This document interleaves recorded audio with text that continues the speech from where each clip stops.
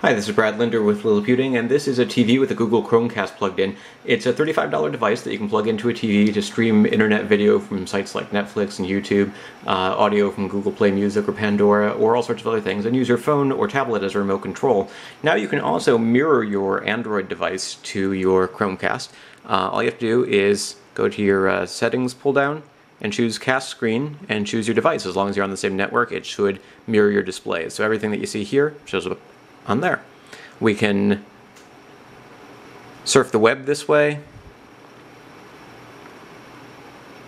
You can uh, show people what it is that you're looking at with your mobile device. You can even use your camera application or photo gallery. So say you want to uh, share some photos with other people, you can do that by mirroring what's on your uh, phone with what's up on the big screen. So you can see the edamame that are growing in my garden right now. Uh, you can already stream video from sites like YouTube and Netflix without doing the screen mirroring, um, so it's no surprise that when you are doing screen mirroring, you sometimes run into errors. I tried doing that and it just sort of dropped right out. But uh, one thing a lot of people want to know is can you play games? Well, sort of. It depends on the game. There's a little bit of lag you can see as we do things like move back and forth. Well, first of all, it looks like we just lost our connection. so let's do this again.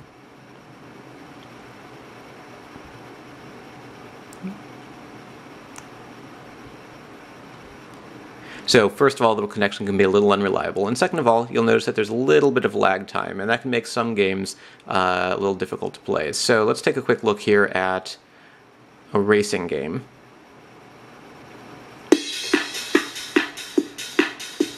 Turn down the volume a little bit. And let's just do a quick race. Now, when I look at my phone, this works just fine and you can sort of use the big screen display as a way to uh, let people see what it is you're doing.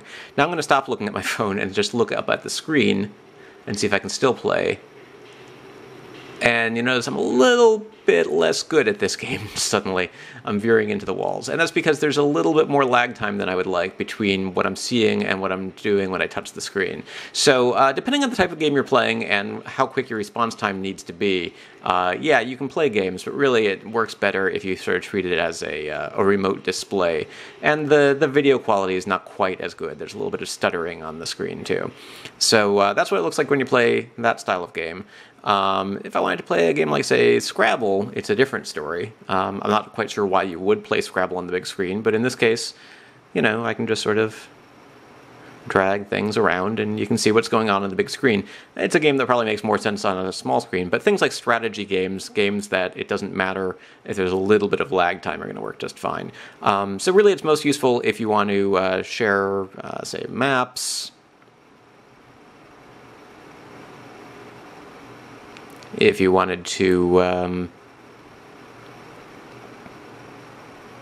use Google Earth on the big screen, uh, show photos, websites, presentations, etc. Um, you can read the news,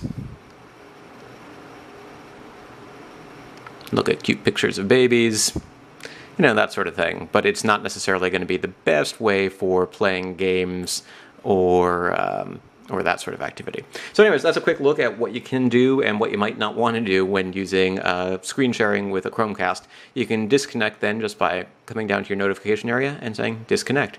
This is Brad Linder with Liliputing and an early look at screen sharing with a Google Chromecast and a Google Nexus 5 device. It uh, currently supports a number of Android uh, devices, including uh, Nexus 4 and later, Samsung Galaxy and HTC uh, One devices, and the LG G3. You can find more details at liliputing.com and at uh, Google support pages for the Chromecast and Chromecast screen sharing.